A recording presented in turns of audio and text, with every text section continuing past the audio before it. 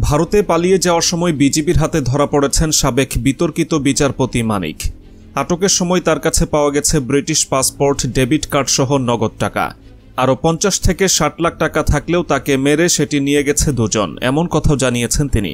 আমার সাথে ছিল ব্রিটিশ পাসপোর্ট হ্যাঁ বাংলা পাসপোর্ট বাংলা পাসপোর্ট টাকা টাকা। ডেবিট কার্ড আর এই আমার ভিডিও করতেছো? আচ্ছা। আমরা নিচে ষাট সত্তরের মতো। ষাট সত্তর লাখ। সুপ্রিম কোর্টের সাবেক বিচারপতি শামসুদ্দিন চৌধুরী মানিকের আটকের কয়েকটি ভিডিও ক্লিপ সামাজিক যোগাযোগ মাধ্যমে ব্যাপকভাবে ছড়িয়ে পড়েছে। তেইশ আগস্ট রাতে সিলেটের কানাইঘাট উপজেলার সীমান্তবর্তী দানা এলাকা থেকে তাকে আটক করে বর্ডার গার্ড বাংলাদেশ। ভাইরাল হওয়া সেই ভিডিওতে দেখা যায় কেউ সাবেক বিচারপতি মানিকের গলায় গামছা পেঁচিয়ে হাত দিয়ে ধরে রেখেছেন। আরেকজন তার নাম জিজ্ঞেস করছেন। এ সময় বিচারপতি মানিক তার পুরো নাম বলেন এবং তার বাড়ি মুন্সীগঞ্জ বলে জানায়।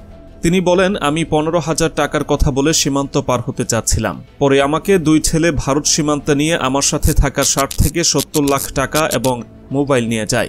পরে কয়েকজন তাকে জিজ্ঞেস করেন যে, আপনি পালিয়ে যাচ্ছেন কেন? তখন বিচারপতি মানিক বলেন, প্রশাসনের ভয়ে পালিয়ে যেতে চাচ্ছিলাম। তখন অপর পাশ থেকে জিজ্ঞেস করা হয়, আপনি তো অনেক জুলুম করেছেন। তখন মানিক উত্তর দেন, আমি কোনো জুলুম করিনি। বিজিবি জানায়, সাবেক বিচারপতি মানিক সীমান্ত দিয়ে ভারতে পালিয়ে যাওয়ার চেষ্টা করছিলেন। এ সময় স্থানীয় জনগণের হাতে তিনি ধরা পড়েন, পরে তাকে আটক করা হয়। ট্রাফিক পুলিশ সালাম না দিয়ায় চটে যাওয়া কিংবা ক্ষমতা ব্যবহার করে বিতর্কিত কর্মকাণ্ড করার ইতিহাস রয়েছে সাবেক এই বিচারপতির। অবসর গ্রহণের পরেও মামলায় রায় দিয়ে তিনি ব্যাপক বিতর্ক সৃষ্টি করেছিলেন। এছাড়াও বাংলাদেশ ও যুক্তরাজ্যে দ্বৈত নাগরিকত্ব নিয়ে ব্যাপক সমালোচনার শিকার হয়েছেন তিনি। মানিক উনিশশো আটাত্তর সালে বাংলাদেশ হাইকোর্টের আইনজীবী হিসেবে তার কর্মজীবন শুরু করেন। উনিশশো ছিয়ানব্বই সালে তিনি বাংলাদেশের ডেপুটি অ্যাটর্নি জেনারেল নিযুক্ত হন। তিন জুলাই দু হাজার একে বাংলাদেশ আওয়ামী লীগ সরকার তাকে অতিরিক্ত বিচারক হিসেবে বাংলাদেশ হাইকোর্টে নিয়োগ দেয়।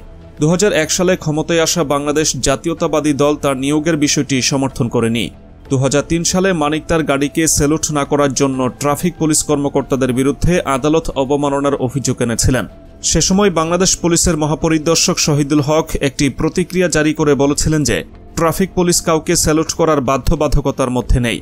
এই ঘটনার পরে বিচারপতি এম এ মতিন ও বিচারপতি সৈয়দ রেফাত আহমেদের সমন্বয়ে গঠিত বাংলাদেশ হাইকোর্ট বেঞ্চ শহীদুল হকের বিরুদ্ধে আদালত অবমাননার রুল জারি করেন, যা তাকে আইন অনুসারে স্বয়ংক্রিয়ভাবে মহাপরিদর্শকের পদ থেকে সরিয়ে দেয়। পরে তিনি বাংলাদেশ সরকারের রাষ্ট্রপতি কর্তৃক ক্ষমা লাভ করেন, এতে তিনি আবারও চাকরি ফিরে পান। এর আগে বিএনপির প্রতিষ্ঠাতা ও সাবেক রাষ্ট্রপতি জিয়াউর রহমান সম্পর্কে আপত্তিকর মন্তব্য করায় সাবেক বিচারপতি মানিকের বিরুদ্ধে গত উনিশ আগস্ট নোয়াখালীর আদালতে মামলা করা হয়। জাতীয়তাবাদী কৃষক দলের কেন্দ্রীয় কমিটির সাংগঠনিক সম্পাদক রবিউল হাসান পলাশ বাদী হয়ে নোয়াখালী সিনিয়র জুডিশিয়াল ম্যাজিস্ট্রেট এক নং আমলি আদালতে মামলা করেন। মামলা সূত্রে জানা গেছে, জিয়াউর রহমান সম্পর্কে আপত্তিকর মন্তব্য করেন সাবেক বিচারপতি আবুল হোসেন মোহাম্মদ শামসুদ্দিন চৌধুরী মানিক। তিনি বলেছিলেন জিয়াউর রহমান মুক্তিযোদ্ধা ছিলেন না ছিলেন পাকিস্তানের চর।